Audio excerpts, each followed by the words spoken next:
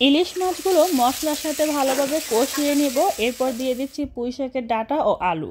Hello everyone, আসসালামু আলাইকুম। চলে এসেছে নতুন আরও একটি ডেইলি ব্লগ নিয়ে। সকাল সকাল ঘুম থেকে ওঠার পর ইচ্ছে করছিল একটু নাস্তা করি হোটেলের। তো হোটেলের নাস্তা করব যেহেতু, তো হোটেল থেকে পরোটা ও ডাল ভাজি নিয়ে আসা হয়েছে। বাসায় চিকেন রান্না ছিল, সেখান থেকে কিছুটা তরকারি নিয়েছি। এই ছিল সকালের নাস্তা। দুপুরের রান্নার জন্য একদমই ইচ্ছে করতেছিল না। তো কি রান্না করব ভেবে চিনতে পুঁই শাক নামিয়েছি ফ্রিজ থেকে। সেই সাথে পুঁই শাকের যে ডাটাগুলো, সেগুলো আলাদা করে নিয়েছি। আলুর সাথে একবারে কষিয়ে নিব। তো যাই হোক, মাছগুলো কেটে কিছুটা নিয়েছি রান্নার জন্য, কিছুটা ফ্রোজেন করে রেখে দিয়েছি। রান্নার জন্য মাছের মধ্যে সব ধরনের মশলা তুলে নিয়েছি। যেহেতু রান্নার ইচ্ছে করতেছে না, তাই ঝটপট রান্না করব, তাই এত বেশি ঝামেলা করতে চাচ্ছিলাম না। মাছের মধ্যেই মশলা তুলে নিয়েছি। একটা হাঁড়ির মধ্যে তেল দিয়ে দিচ্ছি, তেলটা একটু গরম হয়ে আসলে আগে থেকে কেটে রাখা পেঁয়াজ ও কাঁচামরিচ একসাথে দিয়ে দিচ্ছি। এত বেশি ঝামেলা একদমই ভালো লাগছে না আজকে, কেন জানি?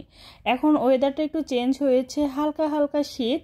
কেমন যেন লাগে, তাই না? রোদ উঠলে কিন্তু সব কিছুই দেখতে সুন্দর লাগে। যাই হোক, তো এই ওয়েদারে কাজ করতেও ভালো লাগে না।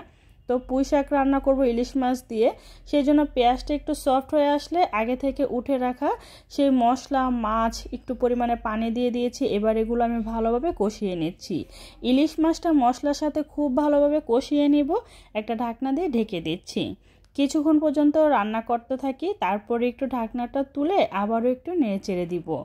আর এই যে মশলার সাথে যে মাছের যে মশলাটা, সেটা আমি একটু ভালোভাবে কষিয়ে নিব। অনেকটা সময় নিয়ে কষিয়ে নিব, যতক্ষণ পর্যন্ত না উপর দিয়ে তেল ভেসে ওঠে।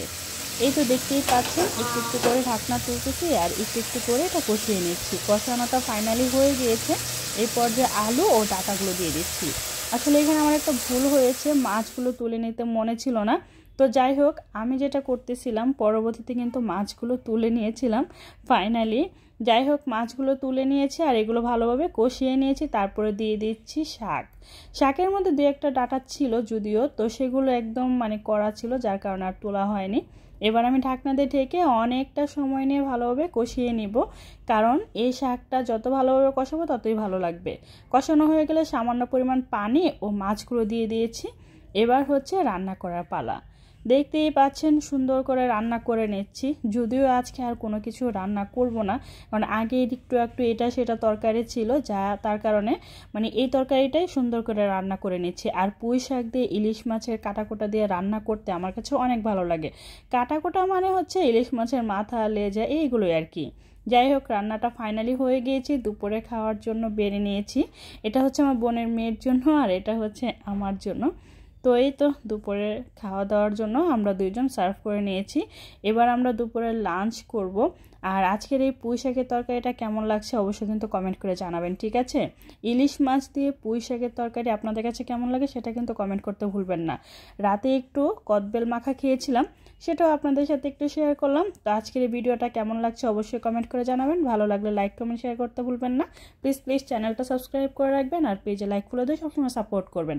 সবাই ভালো থাকবেন সুস্থ থাকবেন। আল্লাহ হাফেজ।